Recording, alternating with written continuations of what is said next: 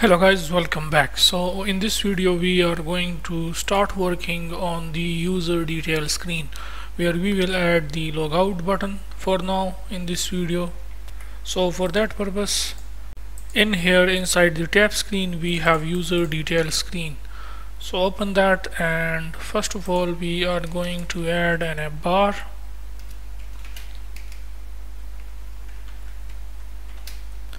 App bar we want to display a title. And the title will be the name of the user. Which later we will implement but for now we will just say profile. Or you can say user profile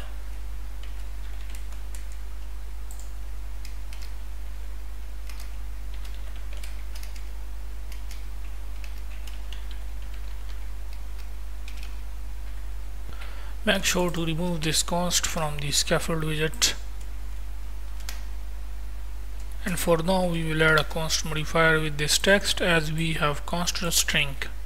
We want the title to be at the center of the screen so we can say center title true. And then we will add a button, a logout button. So after the center title we can say actions and we can add icon button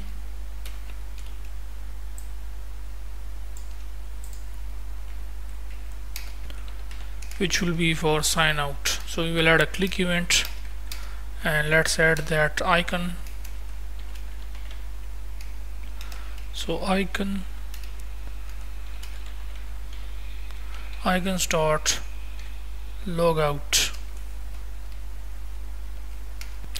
The size we want for it is 30 and when the user tap on this logout icon button we want the user to sign out. So we can say firebase out. And when we call this sign out built-in method which is from firebase authentication then the user state will change. That is the auth state changes where the current user will become equals to null and the user will be automatically sent to send to the login screen so now let's just test our application.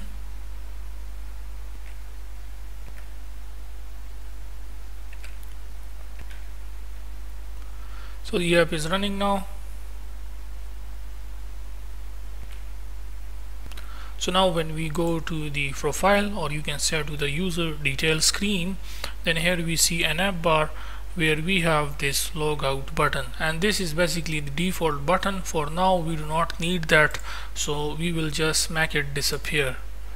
So after the center title you can use the property for this which is automatically imply leading and set this to false.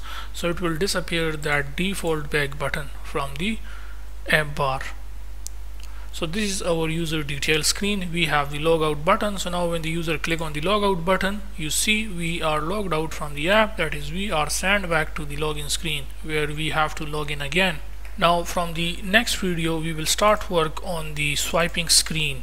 So what I will suggest to you guys please create some four five new accounts from here okay? Some female accounts some male accounts from the create account okay? Just create for 10 accounts 5 for males 5 for females from different countries okay?